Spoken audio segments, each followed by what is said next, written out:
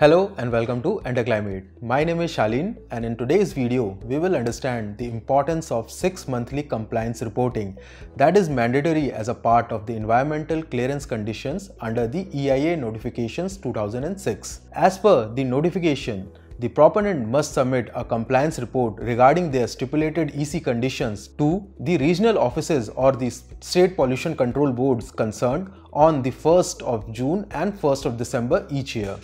Fulfilling these EC conditions is crucial in maintaining the validity of the EC.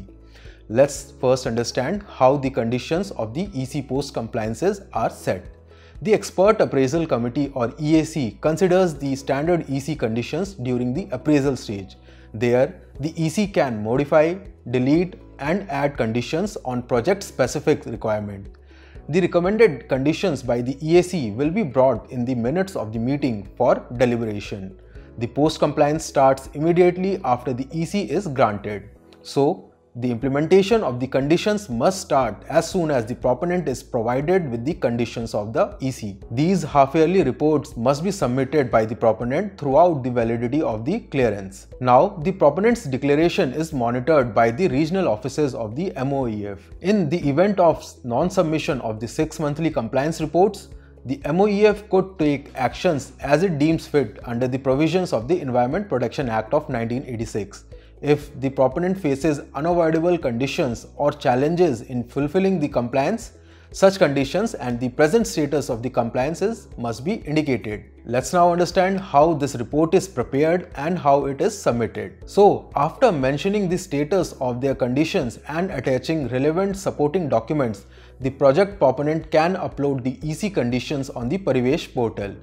The proponent has to fill out the form for uploading the 6 monthly compliance report on the portal after generating their ID and password and then submitting the report. The proponent can also click on the add button provided on the profile page to add any prior accorded EC conditions if they are not already available.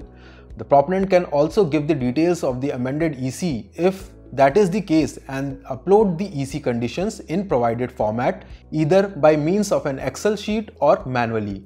After saving the details, the proponent can finally upload the 6 monthly compliance report. An eKYC also needs to be done by the proponent before uploading the self-compliance. Proponent can upload supporting documents that contains information related to the self-declaration. The documents needed at this stage will include the details of the production and project area, the date of commencement of the project or activity, project area as per the EC granted in case of mine leases, actual project area, production capacity, the last site visit report and the last site visit's date. The proponent will now need to upload the self-declaration against each and every EC condition. Before submission, the proponent can also verify their EC compliance report. Let's now talk about another important aspect of the compliance, which is the compliance monitoring. The monitoring cell of the MOEF is responsible for the supervision and coordination of all the functions assigned to the ROs.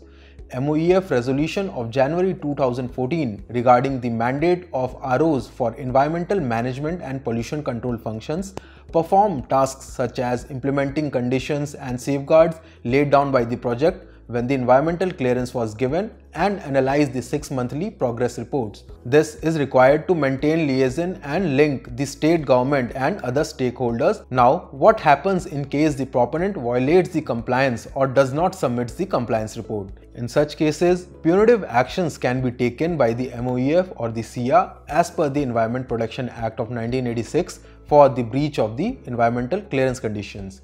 The MOEF also has the power to direct the closure of the project, prohibit or regulate the industry operations or process, and stop or regulate supply of electricity, water or any other service. So as a proponent, you need to understand that 6 monthly compliance reporting is mandatory for new projects as well as when amended EC is granted.